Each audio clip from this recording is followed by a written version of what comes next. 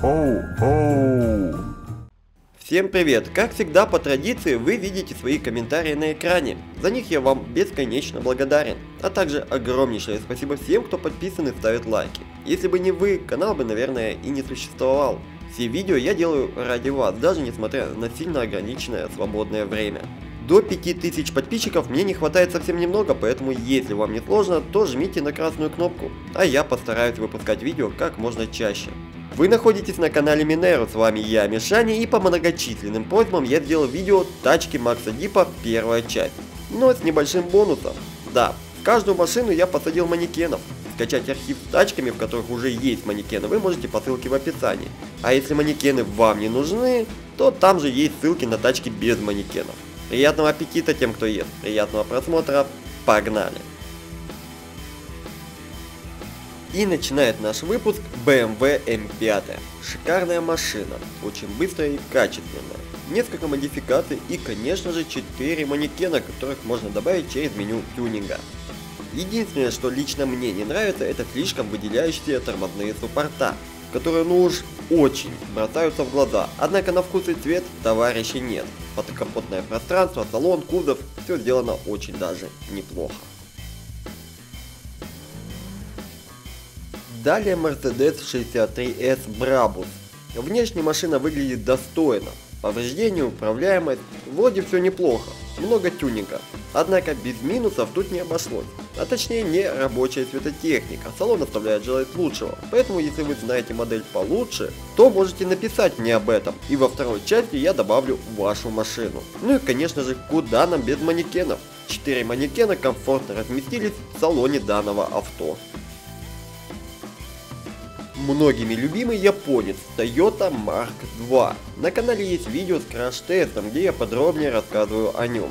Качественная модель, которая выглядит очень даже неплохо. Несколько модификаций и много тюнингов. Повреждения также очень неплохие. Очень люблю данный мод. Кататься на нем одно удовольствие, особенно с манекенами. Далее очень качественная машина. Настолько качественная, что жрет FPS как Киберпанк. Hyundai Solaris. Огромное количество тюнинга и модификаций. Все работает идеально. Продумано и реализована каждая деталь. Шикарные повреждения. Не знаю, как в реальной жизни эта машина показывает себя, но этот мод просто бомба, начиная внешне, заканчивая управляемостью. Однозначно стоит скачать и попробовать, ну а я добавил 4 манекена, чтобы максимально получить удовольствие от этой тачки. Узнали эмблему? Да, это Ford Mustang. Дикий злой автомобиль, который сложно контролировать, но безумно красивый.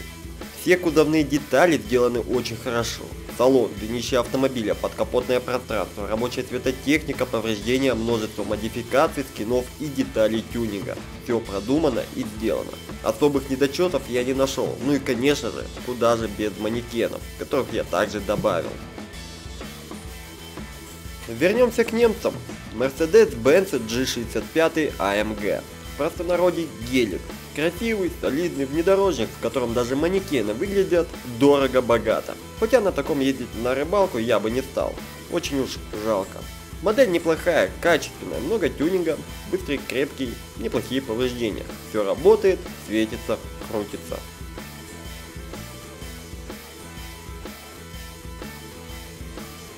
Что, опять японец?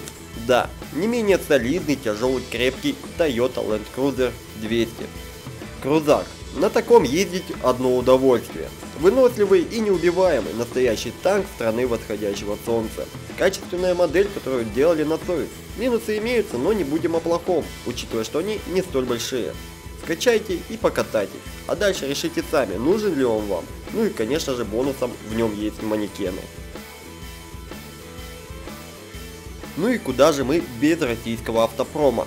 Волга 3110. Российский корабль, однако манекеном там тесновато, хотя может мне кажется. Тоже неплохая модель авто, все работает без замечаний, множество модификаций и тюнинга со скинами. Единственное, что мне не нравится, это качество текстур фар. Они могли быть и получше, однако это все мелочи и не особо бросается в глаза. Следующий автомобиль это ВАЗ-2115 Самара, или проще говоря пятнашка. Мне очень нравится реализация данного мода. Несколько модификаций, тюнинг, скины, хорошая управляемость и повреждения. Текстуры кузовных деталей салона двигателя, все прекрасно выглядит и гармонирует между собой. Очень радует, что все работает, однозначно заслуживает вашего внимания. Разбить ее с манекенами или добавить в трафик будет неплохим решением. Ну и напоследок пак Жигулей, от ВАЗ-2101 до ВАЗ-2107, среди которых также затесалась Лада Приора. Все модели отличного качества, огромнейшее количество модификаций и тюнинга. Каждый найдет Жигули на свой вкус. А я также добавил в каждую машину манекенов. Покататься на какой-нибудь российской карте будет просто одно удовольствие. Непередаваемые ощущения от атмосферы. На этом и закончим видео. Если вам понравился ролик, то напишите в комментариях, делать ли мне вторую часть. Не забывайте писать комментарии и задавать вопросы, я стараюсь отвечать на них в свободное время. А вам отличного настроения, приятной игры и всего самого наилучшего. С наступающим Новым Годом! Пока!